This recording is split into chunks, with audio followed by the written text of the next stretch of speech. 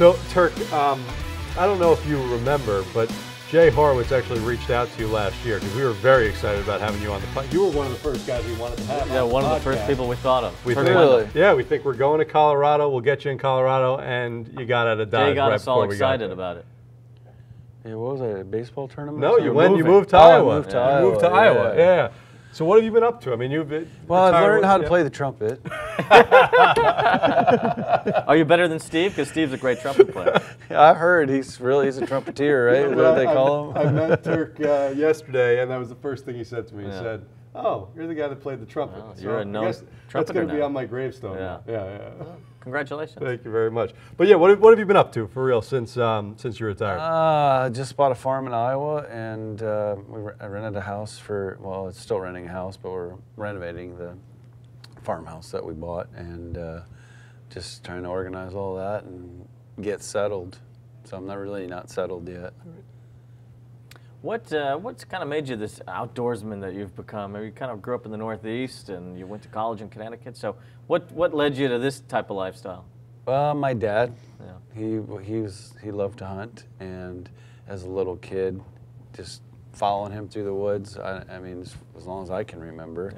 And then he had me bow hunting by myself when I was eight years old. So, um, and a, lot of I think hunting gets a bad rap from a lot of people that have never done it. They think, oh, poor kill. Know, it's not about that. It's just about kind of being in nature and understanding nature and watching it evolve every day. It, it's pretty cool being in the woods a half an hour before the sun comes up and watching nature wake up and then being there and sitting till dark watching nature kind of go to sleep but yet some things are waking up at that time too so yeah it's just it's it's peaceful it's relaxing I don't know if peaceful and relaxing would have been the way to describe you as a, a player.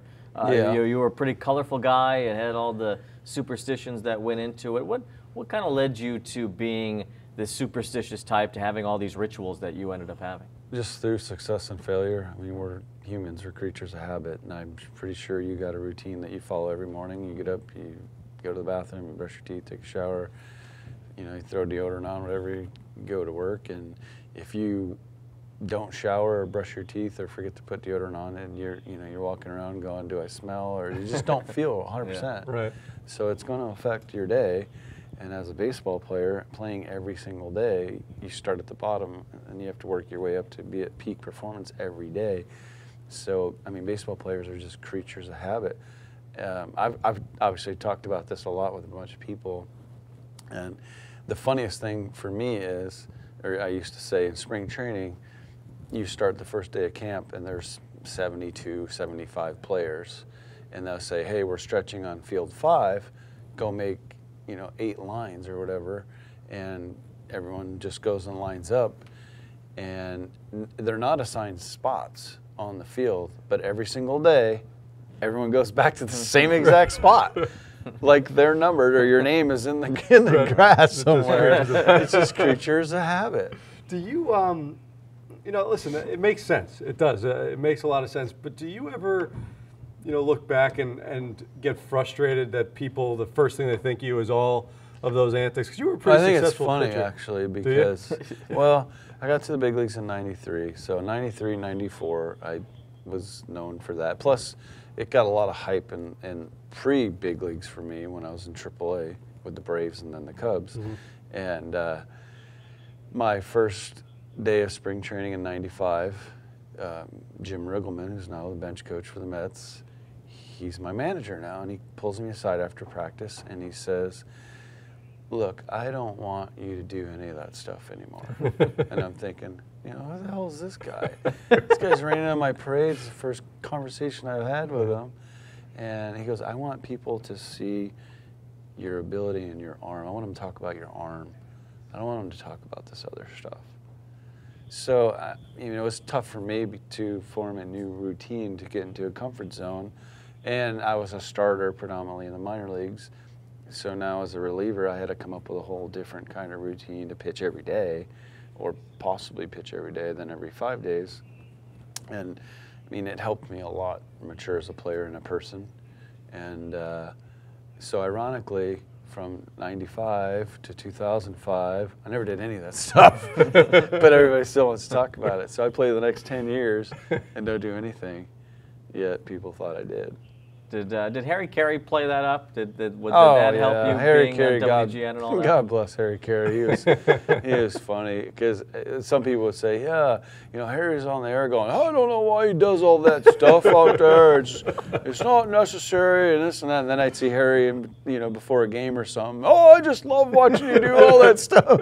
It's good TV, right? Right. Yeah. Let's go. You know, listen, not to, to harp too much on it because there are so many great things just from a pure baseball perspective we want to talk about. But I am curious, even if some of these routines, superstitions, whatever you'd call them, were cut off, just the origin of each one. So can we just run through Yeah, the list of them? fire really away. So, I mean, the first one that you're you're known for most, just bounding over that foul line. How'd that come High about? High school, I, I went out, pitched an inning. I think I gave up a run, and I came off the field thinking, what the hell did I do differently? I remembered I stepped on the foul line. And that was it. That was it. Never step on No the more line foul again. line. No more You know, foul Step on a crack, break your mama's back. yeah. Uh, what about the squatting on the mound until the catcher started squatting? One time I just I got to the mound before the catcher was ready or got his gear on, and I just squatted. And then when he came out, I just stood up, and Pitched well that day. Yeah, I pitched well that inning, and then I just, if he wasn't out there, I would do that again, and, and it's just, uh, it's just weird how stuff evolves. Right. Not pounding the rosin bag into the ground. That was sheer frustration. um, I remember in Chicago, I gave up a home run, and it was to kind of a no-name guy, a good, you know, a AAA call-up or something like that. And those are the guys that gave me the hardest time because I wasn't. It's like you, you're not as focused. It's kind of like when a closer comes in in a three-run lead. He's usually not as sharp because he's he knows he has room for error. Sure. But you know when you're a one-run lead. So anyway, uh, give up a home run, and as the guy's circling the bases, I grab the rosin bag and I start cussing at myself under my breath and get fired. You know to get myself fired up, and I just started doing it ever since then. Um, you would wave to the center fielder before the first pitch. So that goes back to high school as well. And Jimmy Duquette, who's now with M- XM Radio, was Right. GM. SNY too, Wa- yeah. yeah, SNY. Duke and I grew up together, and a lot of people don't know that. I mean, we've been friends since middle school or junior, you know, elementary school. Played together in, in, in Babe Ruth and high school, Legion ball and collegiate ball.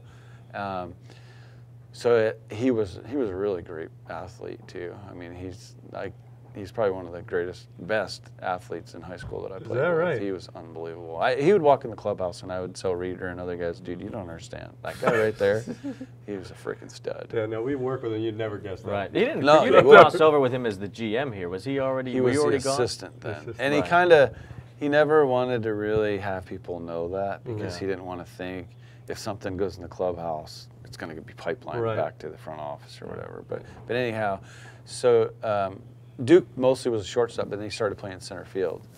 Well, go out and play, come in for the inning. He comes up to me, he goes, "Dude, wait till I'm ready. You threw a pitch and I wasn't even looking because I work fast." So after that, okay, and every day I'm like, Duke, you ready? You ready? Let's go. So I just make sure Duke was That's ready. yeah. unbelievable. So Jim Duquette is the origin of you waving to the center field. Yes. that is pretty good. What else we What got? about the black licorice thing? That that was always one. That So I, I've, about. I mean, people that don't know me think I'm this crazy wild guy, Yeah. and I'm probably a big partier and this and that. But I just love to play, and I get super excited when I get a chance to play. And as a reliever, what am I get to play five, ten minutes if I'm lucky? So I mean, it's all balled into this deal. Um, but in college, guys would chew tobacco and spit on your shoes. It was this game they played, and if it spit and it hit your shoelaces, it was, I don't know, they hit you twice or something like that. But they got to wipe it off. And it was just these stupid college games they played. Right, Well, I didn't. I've never tried drinking. I've never tried tobacco, smoking, nothing. Well, I wanted to play the game too. so I started. My roommate from college, his Italian. His parents had a, a deli in Bristol, Connecticut, so he would bring sticks of pepperoni. So it made me look like I had a chew in my uh-huh. mouth. But then I started thinking, wait, you know, black licorice. I love black licorice. I always eat the black jelly beans at Easter. That's the only ones I would eat. And if I threw black licorice, it looks cool. It's just like a chew, and I can spit and play the game. and I could be a good role model for Yeah. kids if they saw me and knew it wasn't tobacco. Right. So that's how that started. But Is that why you brushed the Yeah, teeth? your teeth- because the no, teeth were black? no, No. Okay. So in rookie ball, I had a bad taste in my mouth. What'd you eat? I don't even know. and I just thought, you know, I, yeah, I asked the clubhouse kid, the bat boy, to run up, run up my locker and grab my toothbrush, and went out and punched out the side the next inning. All right, uh, I got to do this now. So, So it really was success and failure. That's It- really no, what it it was. truly, Just whatever it really, randomly truly happened. is. It was. it really, truly. so you I know, mean, you really, if dude, you would have just you had right a couple now, of bad innings, you would have had a much Well, quicker routine. Dude, if you wear if you wear some shoes that you don't wear all the time to work and you get fired, and the next thing you know, you get a new job and eight months, whatever it is, and you wear those shoes again to work and you get fired, you're throwing them shoes in the trash. Was there You're never gonna something that you again. stopped doing because of uh, a failure? That's something that you thought worked that maybe people don't know about that you stopped doing because it suddenly did not work? I can't remember really. I, I focus on the positives, not the positive. negatives. When did you start with the necklace? When did you? That was in Chicago. Oof, must have been '95 or '96. any reason in particular for that? Um, I started hunting a lot more and was successful, and I just thought, you know, it, it'd be really cool to, to kind of pay tribute to the, to the animals that I've been fortunate to, and it's trophies and the momentums. Each of them have a special place. Did you ever let Riggleman wear it on the plane or something? no. Yeah, he doesn't seem like the type of guy that would, would pop that around his neck. But I tell you what, Riggleman is awesome. Yeah. Yeah. He he called me in the office, I, and I think it was the '96 season and, or '95. I can't remember. I think it might have been '95. But he said, "Hey, I just wanted to call you in here. I just want to say thank you for doing everything I've asked of you this season. You know, I really owe it. I owe you a lot." And I looked at him. I go, "What?" right. I owe you. Uh-huh. You are the first person to actually give me a legitimate chance to prove myself to, to be a big league player. Sure. I said, I know that if I go home this winter and something happens and I never get to play baseball again, that I belonged here, that I could play here. Where did that love come from? Uh, Of baseball. baseball. Yeah. Where did that like uh, really ob- obsessive love of baseball come from? Because you even you loved Um, it so much that your last year in the league, you offered to play for free. Yeah, I did. I, I, I mean, heck, I'd do it again today. Look, you drive around the, any any time in the summer, there's grown men playing beer league softball, and they're paid to play because you got to pay fees to play, right? Right. I mean, it's the greatest game ever. Uh, I don't know. It's just uh, it's something I started doing when I was tiny, playing wiffle ball, and uh, I mean, it's obviously just a passion. And then to be fortunate enough to play it at a major league level and then get paid for it? Really? I mean, I would laugh. I mean, there was one particular time I remember um, the clubby walking around giving us our paychecks, and uh, I grabbed mine, and when he handed it to me, and Bobby V was walking by, and I just started laughing, and he goes, "What's so funny?" I go, "Can you believe I get paid to do this?" And I go, because let's be realistic. I said, if I do get to play tonight, again, it's five to 10 minutes if I'm lucky. And if I pitch like shit, you're going to take me out. What uh, what was the trade like for you the, from the Cubs to the Mets? I mean, you, you came up in the Brave system, but you got to the big leagues as a Cub.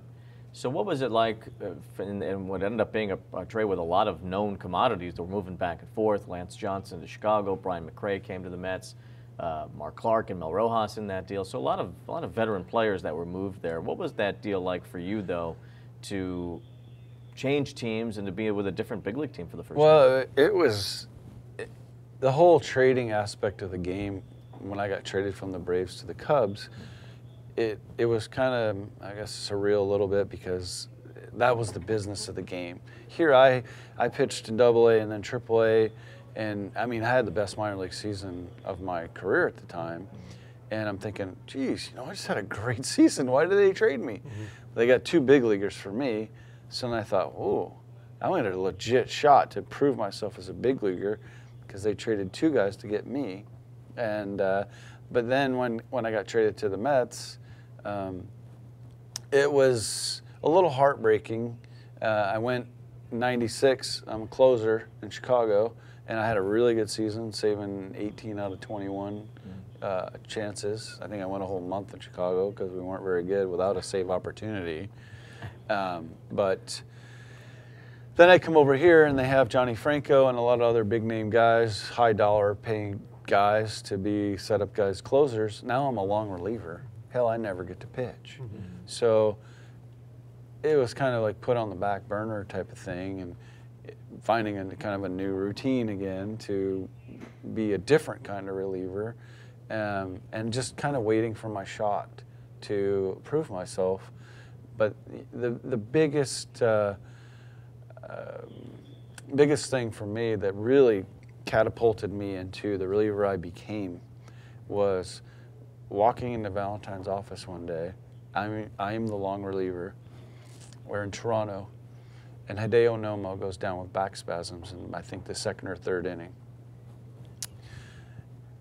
So I'm in the game, and I pitch one, two, three in the third or fourth inning. I go out and pitch the next inning, and then when we take a, I think we took a, about an eight-run lead or something, or five-run lead, whatever it was, into the fourth or fifth inning of the game. And I give up a hit or walked a guy to lead off the next inning, and I threw over to first, and I couldn't help but notice someone's warming up in the bullpen. So now I'm pissed mm-hmm. because I'm thinking, well, what the hell? This is now my game. I'm the long reliever. There shouldn't be somebody warming up in the bullpen. Mm-hmm. Well, didn't help matters for me. Shawn Green takes me deep, and then he takes me out and he brings in. Uh, shoot, I don't even know how. I think we gave up. I, don't I should look it up for the story's sake, Right. but it might have been like 14 runs that after that, in in that one inning, and the bullpen just totally imploded. And Mel Rojas came in and just, I mean, he couldn't get anybody out. But anyway, uh, long story longer. The next day, I walked into Bobby V's office and I said, uh, you know, for me to be a better player, and for if I'm a better player, the team's going to be better. What do I need to work on? Because I think this is bullshit. That, you know, I'm the long reliever, and you had somebody warming up when this is basically my time to shine. And I said, what do I need to work on to be a better player in your eyes? He goes, you got to get guys out. Bottom line is, you've got to get guys out. I don't care how you do it, just get them out. Well, okay, who can't handle that, right? Simple enough. Yeah. Yeah. So now we are 108 games into the season. And so I would ever do the math. There's 54 games 54, left yeah. in the season. Uh-huh. 54 games left in the season. We come back to play the Expos. And we have a one run lead going into the s- bottom of the seventh. Phone rings. Turks in the game. Like, what the hell? Because usually, if it was fifth inning and score was close, I could probably take my spikes off because I'm not going to pitch. Seriously, I mean, that's Right. just the way it Right, was. yeah. So now I'm in the game and I'm going, holy crap. So I go out there, and first guy I get three and two, get him out. Next guy I get him three and two, get him out. Next guy I go three and two again and walk him. Now Mike Lansing's up, who's the righty. V comes out, takes me out of the game, brings in Johnny Franco. So now I come in the dugout and I throw my glove. I go, that's bullshit. You're bringing in a, a lefty to face a righty. Well, hell, you know, you got 3 2 on all these guys, blah, blah, blah. And uh, I go, bottom line, I got him out, didn't I? That's what you asked me to do. So anyway, Franco ended up giving a triple to Lansing and tied the game. I don't know if, if we ended up winning or losing the game. Another, probably should, for argument's sake, find out what that was. But anyway. But it's not the core part of the story. No. Right. And and for me, I wasn't that kind of guy. I was the guy that, you know, afterwards would go into Valentine's office and talk to him, you know, just discreetly. And for for me to yell that and throw my glove down on the bench in the dugout and say that was totally out of character, man. I didn't sleep at all that night. And the next day, the first thing I did when I got to the park, um, when Bobby was there, was go in and ask him. I said I needed to apologize for doing that and saying that in front of everybody and, and the way it did. And he said, Oh, heck, he goes, There ain't nothing to apologize for. I don't ever question stuff that happens in the heat of the battle. He said, I know you want to pitch and you ain't afraid to pitch at any time in any situation. And at that time, I think we had 54 games left in the season. And I threw in 32 of those. Wow. So it just, I pitched every day after that. What's that like to hear from a manager? Um, just Uh, to, to know that a guy gets gets it truly what it's like to be in the moment. Well, it's it's it's reassuring that I mean it's really tough to you can't play as a player thinking you have to prove yourself on every pitch. It, it's reassuring to know that you know you're basically loved and depended on, and w- without even having really to say it every day. It's kind of like having a relationship and knowing you're in love with somebody and not having to keep saying it, saying it, saying it, saying it, saying it, mm-hmm. and even with Riggleman, uh, I hadn't seen Riggs for a long time, and he came and sought me out in Florida during fantasy camp. Came on the field, you know, gave me a big hug. He's like, "Man, I think about you. I use you as a reference so many times to just the character and the work ethic, and just the the competitiveness." And I said, "I can't thank you enough for being the player you were for me." And I'm going, you know, wow, he's coached a lot of guys. Yeah, he has. Why did you change numbers when you came to the Mets? You were 13 as a Cub, and then you wore 99. Because Fonzie wouldn't give it to me. and uh, well, Venezuelan players have a really big connection with the number 13. Right. And I think it's, uh, I don't know if it's Tony Perez, some Hall of Famer from Puerto Rico. I don't know. Jay Horwitz, who's that, Tony Perez? Concepcion, Tony Concepcion, big 13 number, and, and, and Venezuela. And so he wouldn't give it to me. I had no clue mm-hmm. what it was. And, uh, you know, usually out of respect for players that have played, and I had a couple of years service time at the time compared to Fonzie's rookie, mm-hmm. but he wouldn't give me 13. And I didn't know the connection with the number 13 at the time either. And obviously, Fonzie became a way bigger superstar mm. player and, and rightfully so deserved to wear that number. But I just had no clue. And I said, uh, How about 99, Jay? And Jay said, Oh, that's pretty messed up, but you got it. and then, so then I get traded to the Phillies, and I have 99 because that was my number. First three games, give up walk-off homers. I'm like, I got to change. Change. Well, Tomas Perez has 13 for the Phillies, Venezuelan player. He wouldn't give me 13, and you know, at the time he might have had two years in the big leagues, and now I have whatever eight or 9 and I was. I said, I, I, after giving up three bombs, I'm like, I got to get rid of this number. I mean, Mitch Williams was the last person to wear 99 for the Phillies, and we know how that ended for the Phillies in the 93 World Series. So I was in the bullpen, and our bullpen coach was also from Venezuela, and I said, to, I said, hey, that's pretty messed up. I mean, I can't believe Tomas doesn't want to give me 13. I mean, I was going to buy him a Rolex. He went, Really? I don't think he knows that. I had 13 the next day. Bought him off. Yeah. Yeah. Um, th- those teams, though, with the Mets, the 99 team, the 2000 team, I mean, the 99 team was, uh, you know, just had a great run at the end of the season and, and some really exciting moments. The 2000 team has a, a really special place in, in Mets fans' hearts. As a, a member of both of those squads, do you look back on that time really fondly, or do you look back on it as a competitor feeling like you got so close and just came up a little short? I, I do look, uh, you know, we just, we were the first losers. Yeah. You know, it, it's just, it's that bittersweet thing where you, you know, you, you ultimately work your whole life. To me, it was playing in the big leagues. And a lot of the reporters say, isn't this what you, isn't this awesome? Dream come true. You play in the World Series. And I said, I live my dream every day, putting a big league uniform on. This is icing on the cake. And ironically, people say, oh, that must have been super stressful, Subway Series. I said, the funny thing is, the only time I relaxed during the World Series is when the game started. There was so much stuff going on because the hype of the Subway Series and all the celebrities everywhere coming and going in the clubhouse, and you know pre 9/11, so it was just a flood of people all the time, everywhere. Um, pretty exciting, but. Uh, I mean, it would have been awesome to win the World Series, no doubt. But I mean, there's definitely just special times to get to the playoffs and the World Series, and and baseball is such a coveted thing to make the, the playoffs, let alone win the World Series, because ultimately, I mean, 30 teams, that's everyone's goal every year. But uh, 99, John Franco had played something like 16 years, never made the playoffs.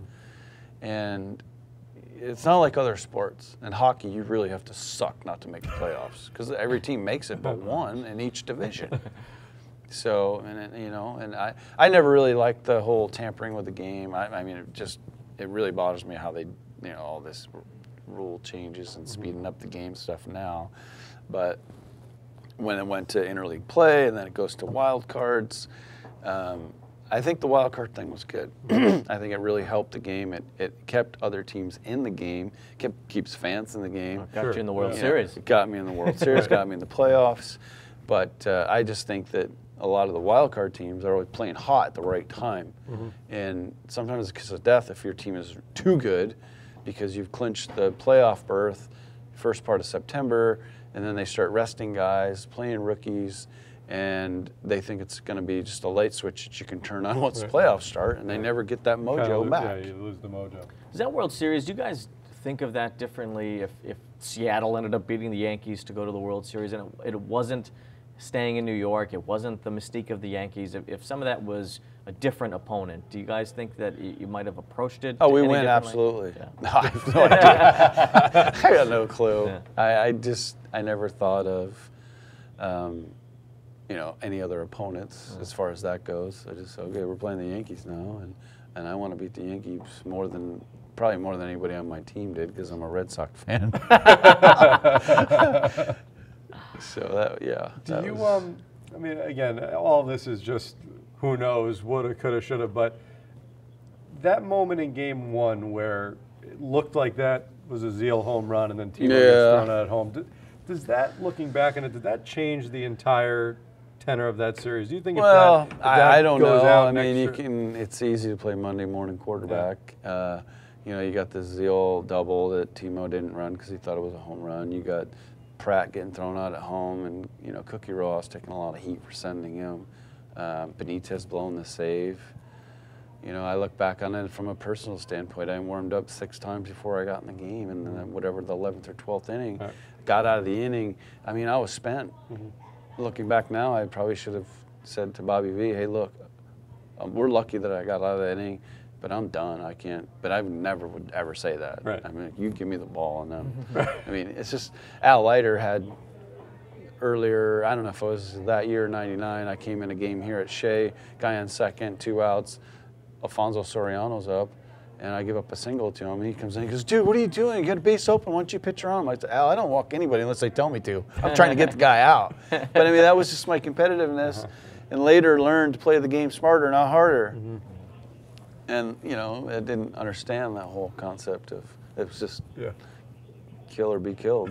I think we should get a Jay Horwitz story out of Turk. Uh, we definitely need a Jay We don't Horwitz have enough story time out of about Turk. Jay Horwitz. We used to, we like to ask all of our guests their favorite Jay Horwitz story. That's arable. Well, um, Somewhat. gosh dang, there's you know, there's the thing where it's just, hey Jay, what'd you have for lunch? Oh wait, let me just look at your shirt. He's always, you know, he's, he's, he's, he's yeah. I don't know. Jay is definitely he needs a statue out here. He's definitely. Is this the- important to you that the, this Mets alumni thing is happening now, and that and that you guys are, are coming around and being more visible here? I think it's it's really it's a huge thing, and um, it, it gives other players, current players, perspective as to, God, am I going to look like that when I'm done playing? but it's fun to to see the guys that you know you're you're basically family. You're around your them more than your own family. You've lost touch, and, and it's easier now, I think, than I think players in this era will have a easier time staying in touch with their teammates with you know, FaceTime texting and all that stuff. I mean, it's an era that's coming into its own now, but it's great to see the guys and catch up with guys. I mean, Reader was my best buddy on the team, and we don't get to hang out or see each other all that much, but to, you know, hang out, it's it's like we've seen each other every day for the last 20 years. Agreed. Agreed. That's great. Um, I'm going to leave you with, with this one last question. The one thing that, among a number of things, I should say, that, that was refreshing about your career is that you spoke your mind. And I think nowadays we don't get that enough from these athletes. And I understand why there, you know, there are more reasons to be guarded. But was there ever anything that you said that you said after the fact, you know what, I wish I could take that back? Well, I think the whole calling Barry Bonds out on steroids was absolutely 100% I said it, and I stand by that. But it wasn't in the manner I said that. It was a reporter not acting as a reporter, kind of as a friend in the Rockies clubhouse says to me, um, "Hey, what's your take on this Bonds thing?" He didn't say, "Hey, I'm doing a story on it, and you know, let me let me hear what you have to say about it." He just it was kind of like shooting the breeze with a buddy, and I said, "Gee, I, I don't understand what the big deal is. I mean, he's it's because he's Barry Bonds. No one wants to say anything." I said, "Look at the size of the guy." His his personal trainers admitted giving steroids to baseball players if that were me, there's no one would say, of course he's doing steroids. Just look at the size of the guy. Well, he had a tape recorder in his pocket or something because I went and played golf after practice that day and my phone started blowing up and my dad finally called me and I answered and he said, well, hell, you finally did it now. and I didn't know what he was talking about. And I, he goes, you're not watching ESPN. Of course, it comes out on ESPN and Bonds calls me up in front of national TV. And so you know, it, I can't even tell you how many guys shook my hand saying thank you. It's finally time somebody said something. Mm-hmm. But that's not me. That's not who I am. Um, and later on into that season, we're in Colorado playing the Giants, and Preston Wilson's walking out of the weight room, and the, the door's parallel to the training room. I'm walking out of the training room and Preston, being a smart aleck, goes, "Hey, Barry's in there. Why don't you go say hi to him?" and so I looked up, and Bonds looked up, saw me, and he's like, "Yeah, you got something to say? Say it to my face." And there was probably eight or nine people in the weight room, and I walked right in. I said, "I'll say you right to your face." And I walked up to him. You know, was wasn't invading his personal space, but close enough to be somewhat confrontational, I guess. And everybody kind of stopped what they're doing and got a little closer. And I said, I will tell you face to face. Yeah, that's what I said. And if you don't like it, that's too bad, because that's how I feel. I said, You're the one that's going to have to answer these questions to the day you die, not me. And I said, I will apologize to you face to face, man to man. That that got in the papers. This guy blindsided me with a question. I didn't, I didn't know it wasn't a, uh, like a formal question or anything of that nature. I said, but if I'm going to talk about steroids in baseball, Dude, I'm not going to talk about Barry Bonds alone. That guy better have a lot of ink in his pen because there's a lot of guys that I played with that I know. I mean, Chicago, Sosa. I mean, why wouldn't I talk about him? Right. You know, he was my teammate for I don't even know how many years, four or five years. But uh, you know, and, and and Barry was just thought it was all about Barry and them ruining his reputation. How did he react to what you said? Well, he that's what I was re, you know alluding to is he thought, oh, they're just trying to ruin my reputation, this and that, blah blah blah blah. And I said, well, you know, whatever it is, I said, like I said, you're the one that's going to have to answer these questions, not me. I said, but I will tell you one thing, Barry. You call me and put me on national TV. The next time I face you, I want to drill your ass. Did you? I never got to face him. Do you, know, lefty, should... righty, so. Do you think those guys should be in the Hall of Fame? No, absolutely not. Granted, it wasn't illegal or against the rules to do that, but I mean, come on, they. they everybody knows, and, and, and, and the sad thing is, everyone's like, "Well, Pete Rose," you know, but they also don't understand the whole story behind Article 21 and gambling and baseball, and that Pete Rose deliberately knew what he was doing, knew the ramifications, yet he still did what he did, and should and Pete Rose's accolades on the field, yeah, absolutely. But he broke that rule and he knew the consequences of being banned for life. And you know, I just I think they should put some sort of um, whatever you want to call it, asterisk, asterisk. or something that uh, I mean, even though these guys weren't, I guess you could say convicted, but uh, they were never. I mean, there's so many things that just technicalities they got away with it. I mean. You could be the greatest guy in the world, but I'm not going to lie to you and go for go to prison for you just to like Bonds' guy did. Mm-hmm. I don't know how many days or years he spent in jail because he wouldn't testify. So it's just sad because I mean I guess the saddest part about all of it is these guys were good enough. They didn't need to do that stuff. They would have been in the Hall of Fame regardless. So I, it just kind of puzzles me that you know why did you do that? You know Mark McGwire, unbelievable great guy, great guy